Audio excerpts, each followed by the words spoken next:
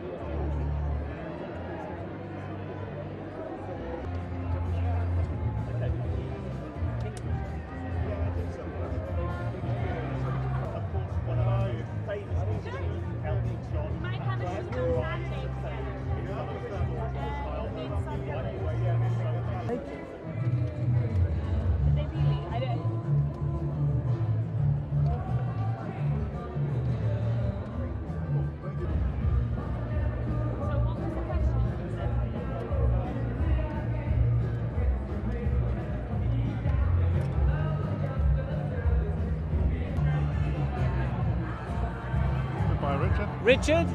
Richard?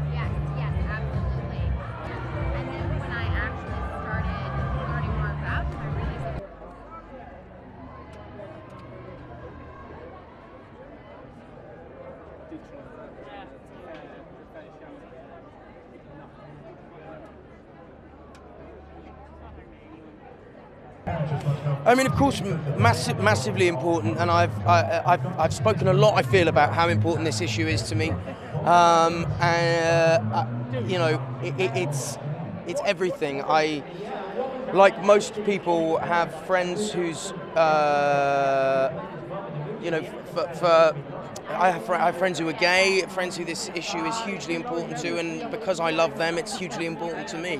But um, you know, I am. I'm just repeating myself now. Really, I've, I, you know, it's of course it's important. Of course it's important.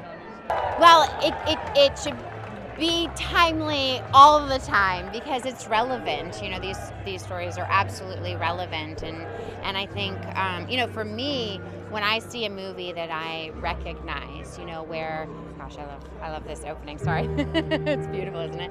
Um, you know, when I see a character that that I I feel like, oh my gosh, I can relate to that person. I'm not so alone, and um, and that really hasn't happened in in media as liberal, you know, as as media kind of claims to be. Um, that's that these stories that have been told in the past are extremely limited.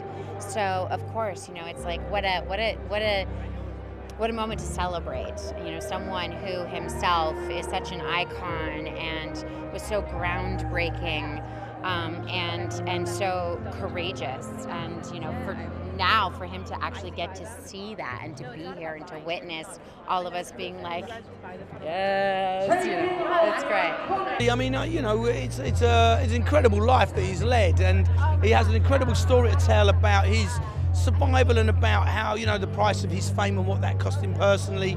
And I think that there's something really generous and open about Elton that we all sort of inherently kind of understand.